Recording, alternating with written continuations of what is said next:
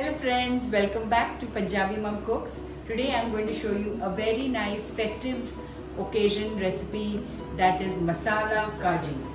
For that we need uh, 200 grams of cashew nuts, some red chili powder, some uh, garam masala, some black pepper, some jeera powder, some black salt and some uh, uh, chaat masala.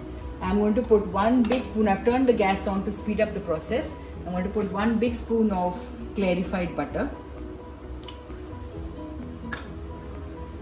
I'm going to put all my cashew nuts in.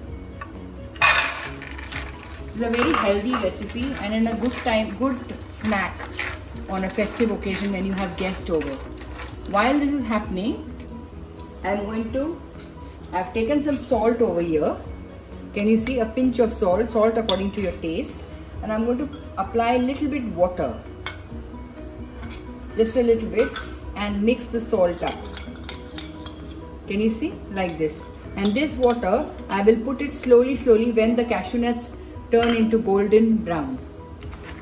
Just going to mix it. It will take some uh, time, but it give to give a golden color. The aroma in my kitchen is simply fantastic a fantastic snack.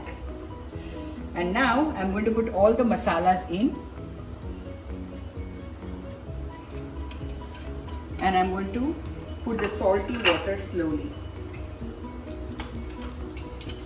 Why we put this so that the masala gets mixed nicely and gets stuck to the kaju, the nut.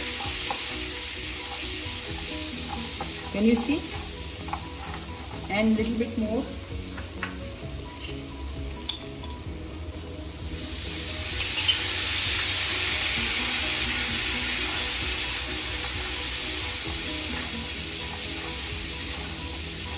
Wow. Look at that, guys. Look at that. Wow, superb.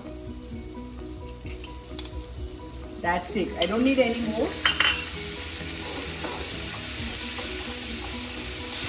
Your guests are going to really like. Have a look.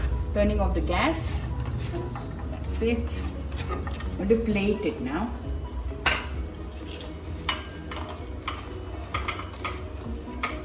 This goes very good with evening drinks and a very good celebration for all occasions. Here you go friends. My masala kaju is ready. I hope you're going to try it. Thank you for watching.